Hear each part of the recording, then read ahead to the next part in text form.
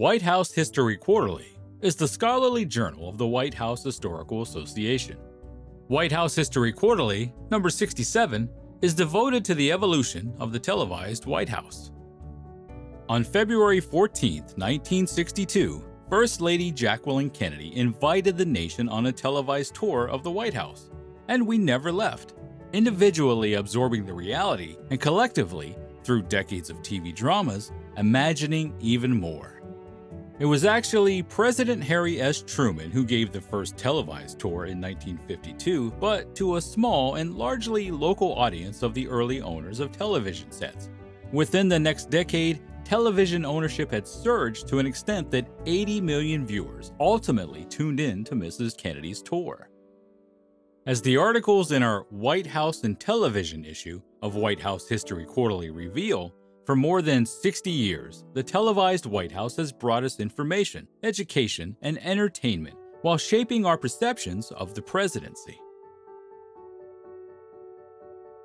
Noting that television has contributed to the rise of a new breed of American leader, a charismatic, telegenic individual who understood that a public figure's image on TV could be vital to his or her success or failure, Author Kenneth T. Walsh opens the issue with the history of the televised depiction of the presidents. With her article, Television Comes to the White House to Stay, Rebecca Durgan Kerr chronicles the presidential embrace of television as both a tool to communicate with the nation and a ready source of up to the minute news. From President Harry S. Truman's first televised speech from the White House in 1947 to President Joe Biden's recent video conferencing, Kerr explains how the White House has kept pace with the evolution of television and technology as well as their potential.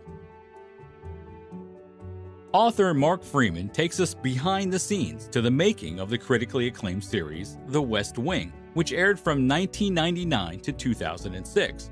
He credits the series with reinventing political theater and shares a recent conversation with seven of the show's creators who explain how they did it. It was only natural for America's First Ladies and television's Muppets to become fast friends, given their shared interest in early childhood education. Beginning with Big Bird's first of many visits to the East Room in 1970, Diana Bartelli Carlin takes us through more than 50 years of televised collaborations on the set of Sesame Street and in the White House itself.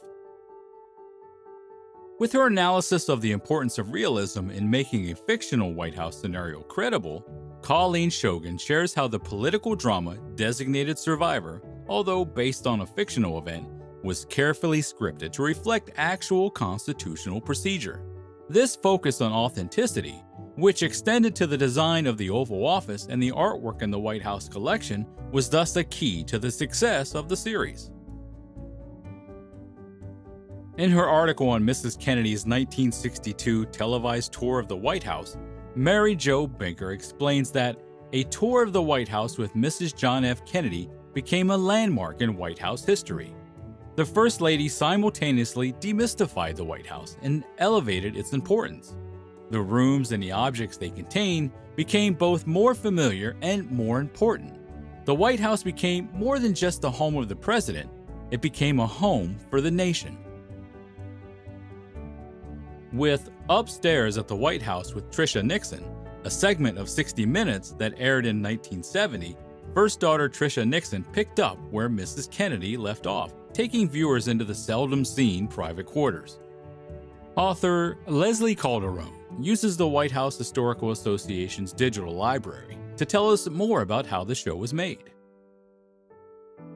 Joel Kemmelor takes us to the set of It's Academic, television's longest running quiz show.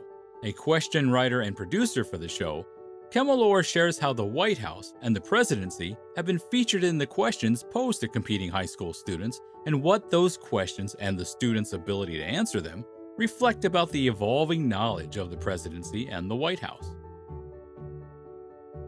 For our Presidential Sites feature, More Than a Photo Op Presidential Pilgrimages to Disney Parks, Bethany Bemis chronicles the presidential visits to the Disney parks from the 1950s to the present day, and she explains that the theme parks have provided a positive forum for presidents aiming to connect with the public.